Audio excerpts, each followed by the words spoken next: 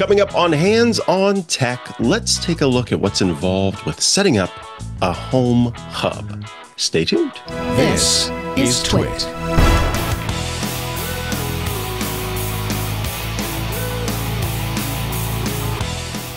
Hello and welcome to Hands on Tech, the show where I, Mikah Sargent, take your tech question and answer it, or try to at least. And occasionally, I also review a gadget. But today is a day for questions.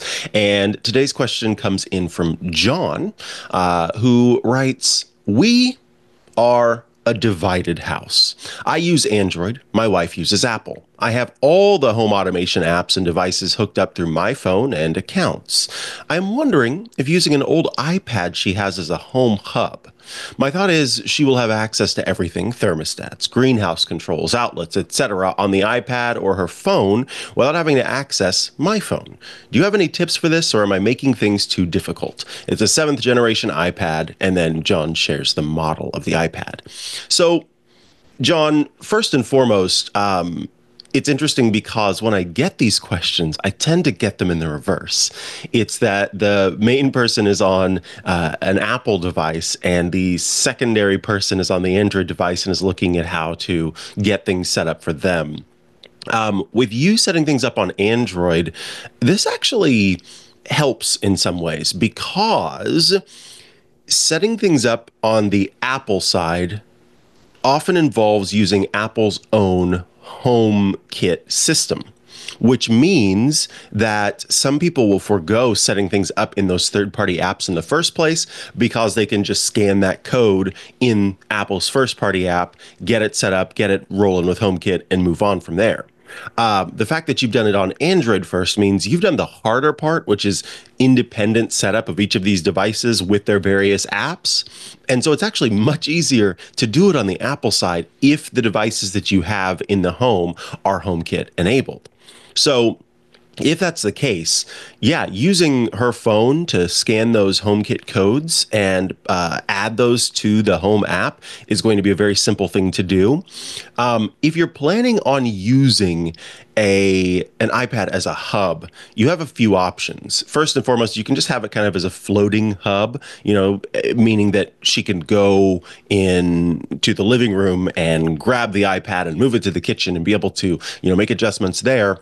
Or you could create a hub that just serves as a hub for both of you if you want to use it, a control panel for both of you if you want to use it.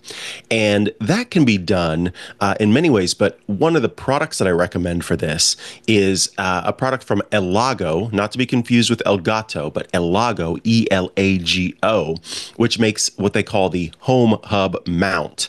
And this this product is essentially um, a little a little pipe that runs across the top and a pipe that runs across the bottom of an iPad that you can then mount on the wall.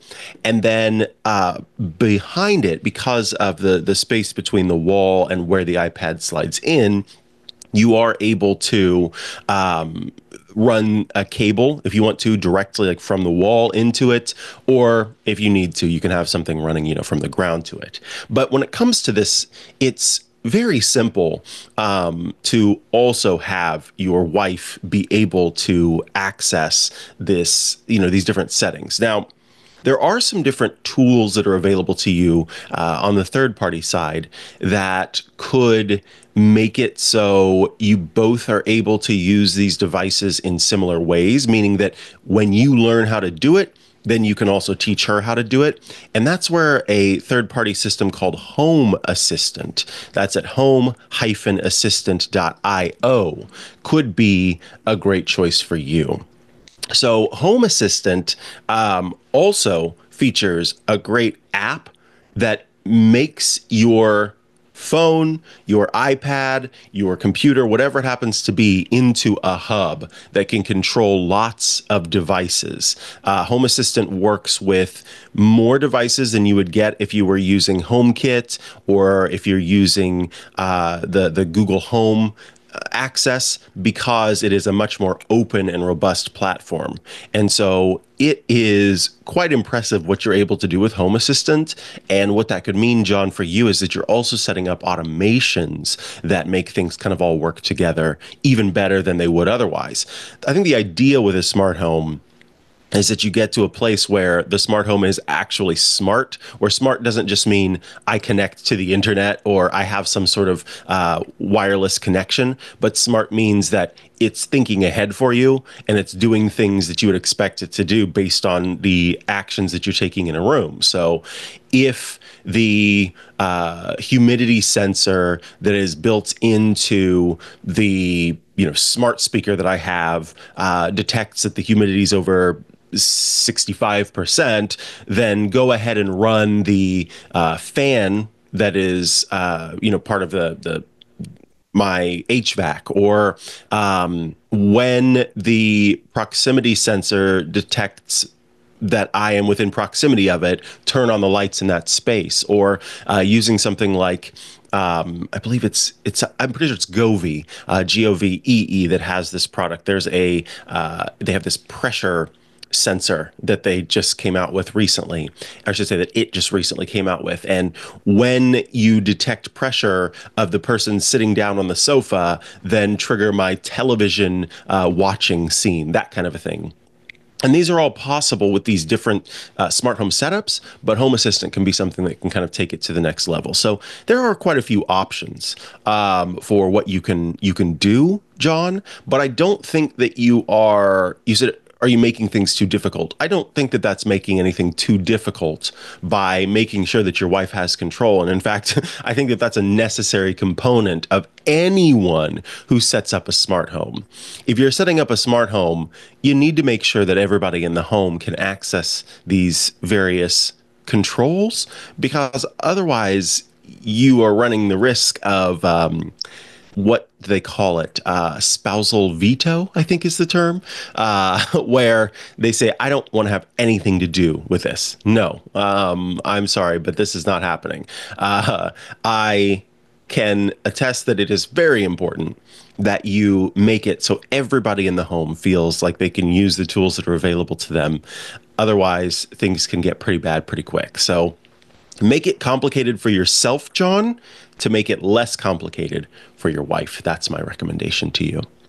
Um, to those of you who are tuning in, I want to remind you all out there uh, that we are always hoping that you'll join us in the club. Twit.tv slash club twit is where you go to sign up for that. Uh, club twit is available for $7 a month, but right now. And for a limited time, we are continuing to offer our two week free trial of Club Twit. So if you have not joined the club and you're looking to try it out and see what it's all about, now's the time to get those two weeks for free. To those of you who are members of Club Twit or are tuning in live, so you are seeing this, twit.tv slash club twit slash referral is where you should head because by referring your friends, you can earn free months of Club Twit. What? Uh, so be sure to join the club. We've got lots of great benefits to you, ad free versions of all of our shows, access to the Twit Plus bonus feed that has extra content you won't find anywhere else, behind the scenes, before the show, after the show, special Club Twit events, access to the members only Discord server, which is a fun place to be to hang out with your, uh, you know, fellow Club Twit members, but also those of us here at Twit and access to the video versions of all of our Club Twit shows, like my shows iOS Today and Hands on Mac. So be sure to join the club. We'd love to have you. And be sure to give me a shout when you get in there so we can uh, answer your questions if you should have them.